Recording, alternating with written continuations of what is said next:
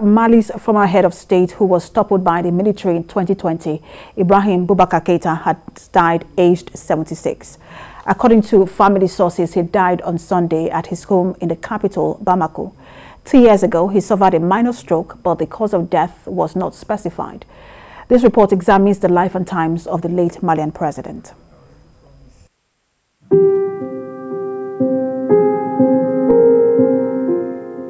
Ibrahim Boubacar Keita was born to a civil servant father. He went on to study literature, history and international relations in Paris. He lived and worked in France for decades, including teaching at the University of Paris before returning to Mali in 1980, at first working as an advisor to the European Development Fund. Mr. Keita led Mali for seven years from 2013 until 2020 when he was ousted in a coup after huge anti-government protests over his handling of the unrest. An economic crisis and disputed elections also fueled the demonstrations against his rule. Mr. Keita was involved in politics for more than three decades, serving as the Socialist Prime Minister from 1994 to 2000. Mr. Keita who claimed to be a leftist, had a meteoric rise under the first president in 1992 to 2002 of the democratic era of Mali. He was prime minister from 1994 to 2000. An unsuccessful candidate in the 2002 presidential election, he took his revenge by acceding to the Koulouba Palace, the seat of the Malian presidency in Bamako in 2013. He was re-elected in 2018 against Soumaïla Cissé, then leader of the opposition who died in December 2020 of COVID-19. The coup that toppled him in August 2020 was followed by a second one in May 2021. The junta, led by Colonel Assimi Goïta, had announced its intention to rule the country for several years although it had previously committed to organizing presidential and legislative elections on 27th of February to allow the return of civilians to power.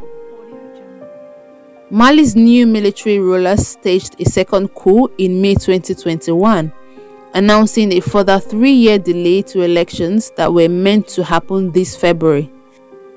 This last action made them the target of sanctions this week by the European Union as well as its neighbors in the West African regional bloc ECOWAS.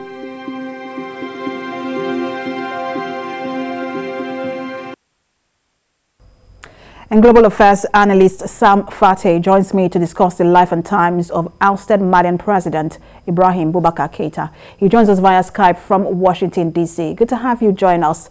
Um, good to have you join us, um, Sam Fateh. It's, it's, it's sort of you know, weird under the circumstance, uh, circumstance under which we're speaking. We've always spoken about what issues, but I'm not, I'm not sure we've spoken about the death of um, a, a, leader and one who was just ousted from office some years ago. How, how, how did this news come to you? Well, it's quite a um, sad circumstance and very unusual one for that being the matter. Um, considering his age, he is old, but compared to other African leaders, he will be uh, considered much younger.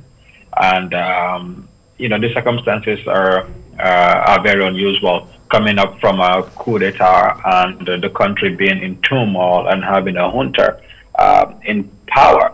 I mean, he was arrested right after the coup and he was detained, then put on the house arrest.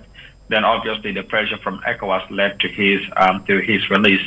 Uh, in fact, um, uh, Ibrahim Boubacar Keita was going. Uh, he was the junta was allowing him to go on uh, medical treatments uh, overseas, and uh, unfortunately he died in Bamako. So it's it's kind of a, a sad situation, but also there's like this mixed uh, feelings when it comes to analyzing the entire situation and, and, and the Malian crisis.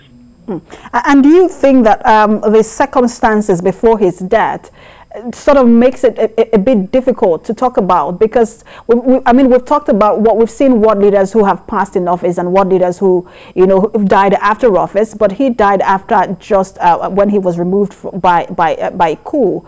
Do you think that that changes sort of changes the circumstances um, when it comes to talking about this?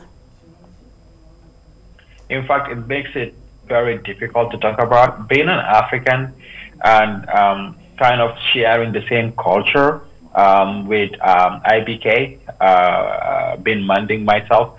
It's it, you know it becomes very difficult because it, when somebody dies in in that culture, um, you don't even talk ill about them. But mm. if you look at what rise, uh, what gave rise to his removal from power, um, the allegations. Of course, he came to the president in 2013 promising to end um, the corruption, um, the nepotism that marred um, Toumani regime. And obviously, Tumanity was removed uh, through a coup d'etat. And so that circumstance led him to coming into power even after previously losing elections uh, in 2006.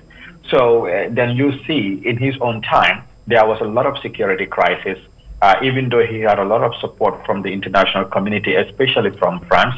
The security crisis led to a lot of dissatisfaction then the rise in the economic problems of the country, continuous allegations of corruption also uh, led to a lot of dissatisfaction with his government. There were mass protests, and this gave rise and the audacity that the uh, uh, the current president Goïta has with his junta and other soldiers to uh, to overthrow him. So you cannot talk about his legacy. You cannot talk about his presidency without talking about some of these issues. Mm. It is the fact still remains that it is sad, it is unfortunate, and it is very unusual and uncommon for a president to be removed from power through uh, means of the barrel of the gun, only for him to die, you know, just a few months or less than two years down the road. Mm. And we will get to that legacy in a moment because it's something that we do have to talk about. But I just want to ask you because really, if, if you listen to the report earlier, um, it, it, was stated that he, he, had a meteoric rise, and really he did have a meteoric rise on the, um, the first president in Mali, um, President Alpha Oumar Konaré. And you know, many thought that that was going to lead to, uh, because of that experience he had gained, his coup in Paris, he, he had a lot of experience in terms of economic development. Many thought that that was going to translate into economic development when he um, took took office. But do you think that that was that meteoric rise? He he used he did seize that opportunity and used it well, or do you think that there was something missing in terms of how um, he took advantage of the opportunities he had? Look, I think IBK came to power with all the good intentions to make things work out for Mali and to use his experience. But what we have to learn from IBK's time being the president of Mali is that no matter the experience you have outside, no matter the development you've seen outside the country and the skills you have, it cannot be mistaken that because you work for some international organization and get those experience, you can come back to Africa and be able to take control of a country and change what has been deeply rooted in these nations. I mean, I think he underestimated the. Sam, let me put you on just on hold for a minute. I want to welcome back um, our Nigerian audience. You've been seeing live pictures of the 52nd convocation of um, UNILAG, where the, the uh, Speaker of the House of Representatives, Femi Gbajabiamila, was speaking. We're back now to the show. Um, please go ahead. Sam, please go ahead. I just want to welcome our, our Nigerian audience. Yes. yes um, um, so the, the, the, they're mistaken the endemic corruption and how deeply rooted these problems are uh, in Africa. You can change a government and you can put a very experienced and you can put a leader who means well for the country. But the question becomes, is that enough to change the system? There's government change or regime change and there is a system change. And it takes, it is very difficult to, to put good changes even in small government uh, ministries and departments. Not to talk about trying to change uh, uh, or deeply rooted corruption in an entire system. We have seen it in Nigeria, where how President Buhari, for example, campaigned strongly on addressing Nigeria's security problem and in defeating, completely defeating Boko Haram and in ensuring that corruption is completely taken, uh, uh, taken out of the way.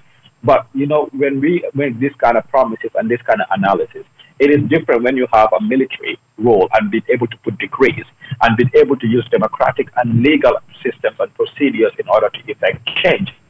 So IBK came with all good intentions, but the, the plan for him to change the government mm. and reform the government became difficult because he faced uh, challenges from within.